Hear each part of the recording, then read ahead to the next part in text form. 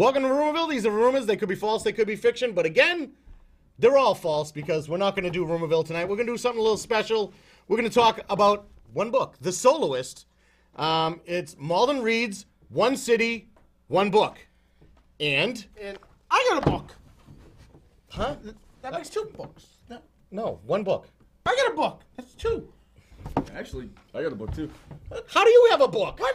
I like to read. It's a really good book. This, no, the slogan is Malden Reads One City, One Book. But I got a book.